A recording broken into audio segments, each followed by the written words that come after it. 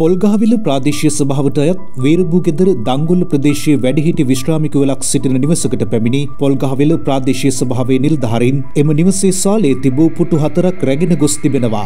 එසේ රැගෙන ගොස් ඇත්තේ ඔවුන් රුපියල් 16250ක වරිපණක් නොගෙවූ බවට චෝදනා කරමිනුයි. මසකට රුපියල් 2500 ගණනේ එය ගෙවීමට තමන්ට හැකි බවත් ගෙවීම සඳහා කාලයක් ලබා දෙන ලෙස ඉල්ලා සිටි නමුත් ඔවුන් විසින් රුපියල් 25000ක් පමණ වටිනා දැව භාණ්ඩ රැගෙන ගොස් ඇති බවටයි වාර්තා වන්නේ. තමන්ට ලැබෙන්නේ රුපියල් 50000ක විශ්‍රාම වැටුපක් පමණක් බවත්, තම පිරිඳ අංශභාග රෝගී තත්ත්වයෙන් පීඩා විඳින බවත් මෙම සිදුවීමට මුහුණ පෑ පුද්ගලයා සඳහන් කර තිබුණා.